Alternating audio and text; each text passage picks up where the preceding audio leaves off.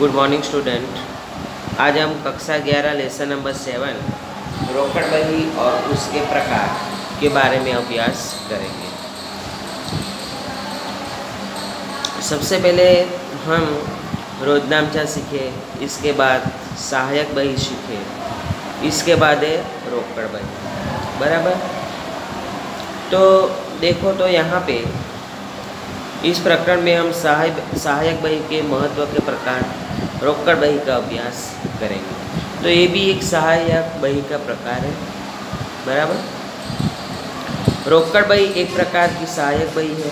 सामान्य रूप से व्यवसाय में देखा जाए तो दो प्रकार के व्यवहार देखने को मिलते हैं। एक रोकड़ व्यवहार और एक उदार व्यवहार। शाख के व्यवहार में भविष्य में रोकड़ व्यवहार में बदल जाते हैं। जैसे कि यदि माल का उधार पर विक्रय किया जाए तो हाल में साख का व्यवहार है, परंतु वो भविष्य में निश्चित अवधि के बाद विक्रय की उपज होती है। मतलब कि जो व्यवहार प्रेजेंट में उधार होते हैं, लेकिन वो भविष्य में रोकड़ हो जाता है। मतलब कि उधार माल बेचा तो भविष्य में उसकी रकम मिलेगी, तब वो उपज होगा। और उस समय उधार व्यवहार, रोकड़ व्यवहार बनता है। रोकड़ व्यवहारों का लेखा करने के लिए रोज नामचा के उप विभाग के रूप में रोकड़ बही की व्यवस्था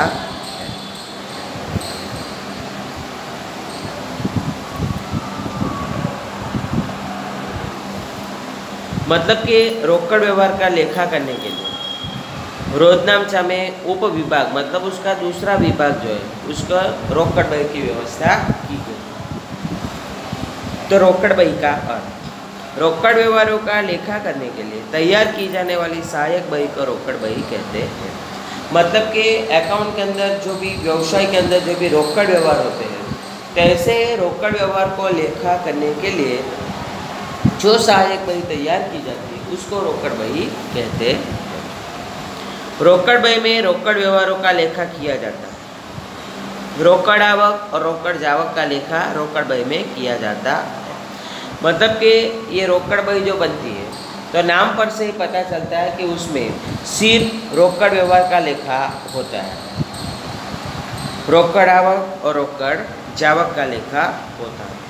और रोकड़ बही बनाने से पता चलता है कि निश्चित समय अवधि में मतलब कि एक साल में, एक दिन में, एक महीने में, एक हफ़्ते में, ऐसे निश्चित समय में रोकड़ शेष। मतलब कि हमारे पास कैश बैलेंस कितना है, वो हम जान सकते हैं। तो रोकड़ बही या रोजनामचा और रोकड़ खाता, ऐसे दोनों की ज़रूरत पूरी करता है। मतलब कि रोकड़ बही जो है, वो रोजनामचा और रोकड़ खाता। मतलब कि ये रोकड़ बही जो है, वो वन टाइप ऑफ़ रोकड़ खाता ही कारण कि रोकड़ बही खाता के स्वरूप में तैयार की जाती है। मतलब कि रोकड़ बही जो है, वो खाता के स्वरूप में तैयार होती है। खाता में क्या होता है लेफ़्ट साइड पर उधार और राइट साइड पर जमा। वैसे ही ये रोकड़ बही भी जो भी आवक होती है, वो उधार बाजू लिखा जाता है और जो भी जावक होती है, वो जमा बाजू। क्योंकि रोकड़ का नियम है कि रोकड़ धंधे में आए तो उधार होता है और रोकड़ धंधे में से जाए तो जमा होता है। इसके बाद रोकड़ बही की उपयोगिता और उसका महत्व। पहला है समय और श्रम का बचाव। तो रोकड़ व्यवहारों को रोजनामचा में लिखे बिना सीधे ही रोकड़ बही में लिखते हैं जिससे रोकड़ खाता अलग अलग रोकड़ खाता अलग से बनाया नहीं जाता। मतलब कि अकाउंट के अंदर जो रोकड़ व्यवहार होता है, उसका रोजनामचा नहीं लिखते। उसको डायरेक्ट रोकड़ बही में उसका लेखा होता है, इसीलिए रोकड़ खाता अलग से नहीं बनाया जाता है।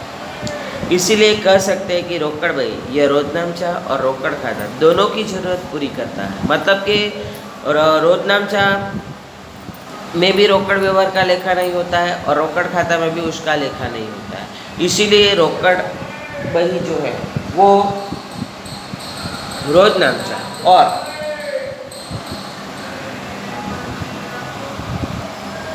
रोजनामचा और रोकड़ खाता दोनों की गर्ज पूरी करता है। इसीलिए यहाँ पे समय और श्रम का बचाव होता है। सेकंड पॉइंट है, श्रम विभाजन का लाभ। रोकड़ जो है वो रोज नामचा से अलग रखी जाने से उसे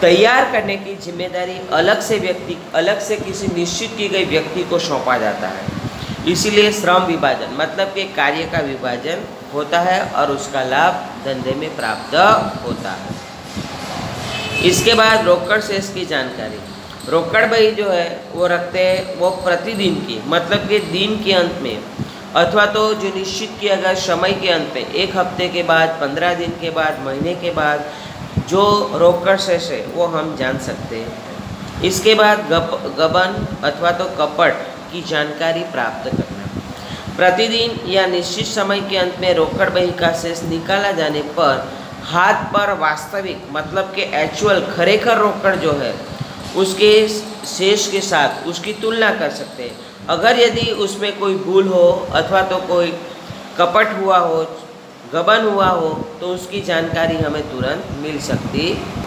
इसके बाद है रोकड़ खाता का समावेश। धंधे के आवश्यकता और व्यवहारों के स्वरूप और प्रमाण अनुसार अलग अलग प्रकार से रोकड़ बही तैयार कर सकते मतलब कि जैसा धंधा होता है, वैसे इस हिसाब से अलग अलग प्रकार से रोकड़ बही तैयार कर सकते हैं।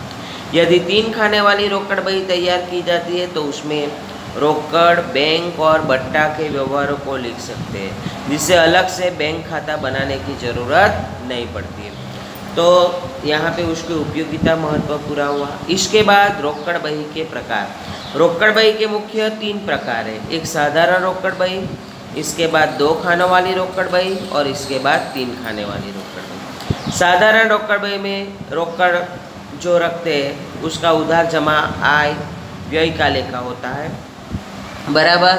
और दो खाने वाली रोकड़ बही में फिर तीन प्रकार है। रोकड़ और बट्टा खाने वाली रोकड़ बही, रोकड़ और बैंक खाने वाली रोकड़ बही और बैंक और बट्टा खाने वाली रोकड़ बही। बराबर। और इसके बाद तीसरा है तीन खाने वाली रोकड़ बही। तो तीन खाने वाली रोकड़ बही जो है, इसके अंदर रोकड़, बट्टा और बैंक ऐसे तीन खाने वाली रोकड़ बही होती है। ओके?